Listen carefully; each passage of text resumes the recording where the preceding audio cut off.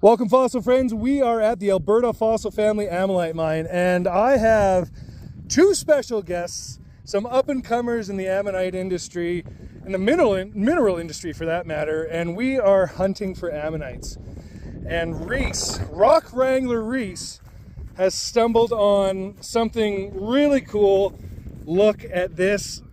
We're just, we're fossil hunting. So how did you find this, Reese? So I was walking along this shelf which the shelf is full of concretions that are broken down. And so I was walking along and I suddenly came across this little spot here of ammolite gemstone. Okay, so after you found the concretion, so now what is the first step? You've uncovered the first one, and so now, now what do we need to do, Reese? We need to flip it so you see if there's gemstone on the other side. Well, okay, let, I like it. Let, let's flip it over. Let, let's flip everything over here. Okay, rub it in. Oh, yes, nice. And why does that piece look like that as opposed to solid ammolite, Reese? Well, because some of the ammolite turned into calcite from the sun because this is all on the surface. And so when the sun hits it, some of the ammolite decomposes because of the um, sun hitting, hitting it, and then it turns into calcite. And that calcite layer comes off, and then what's left is just the matrix.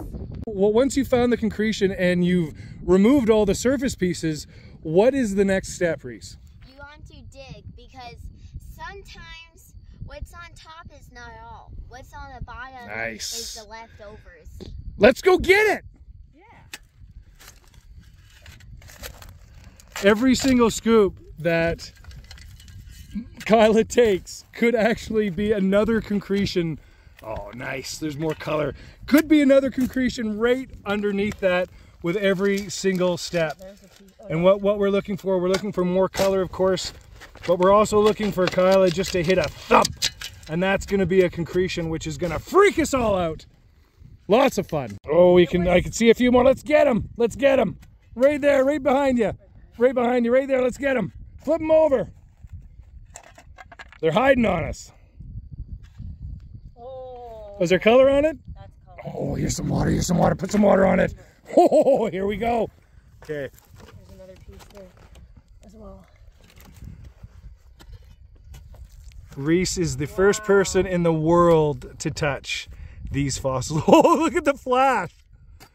That is surface ammolite. Amazing. As you can see, we got our work cut out for us. We're going to get going and keep on digging. Okay, right, right there. Yep. Oh, there is color on it. Oh, there is color. Get some water. You got to crack it. Crack it right. Oh, yes. Dump some water on it. That's it. Just along the ridge top there. You got it. You take your time. It's not going anywhere. You found it. That's the hard part. This is the fun part. Oh, there we go. Look at that. Look at the colors. It's almost like Crayola with Jasper. Oh, here. Tap it here. There's Ooh. color. Okay. Oh yeah, there is color there. Pour some water on it. Let's check it out.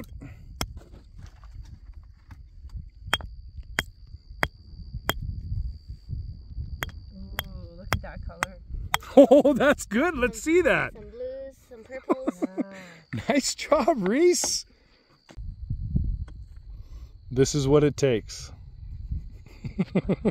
this is what it takes. This is get the shovel. Oh, I like I like it. Nice job, Reese.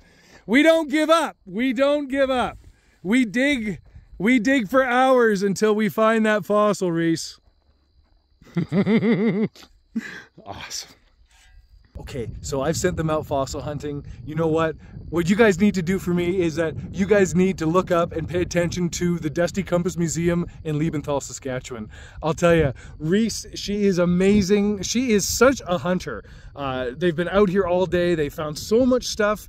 Their attention to detail uh, and the talent that they have, I'm telling you, you have to check out the Liebenthal, in Liebenthal, Saskatchewan, the Dusty Compass, Supermom Kyla, and Super Builder Kent. I'm telling you, this family is the real deal. You got to check them out. Stay tuned for more.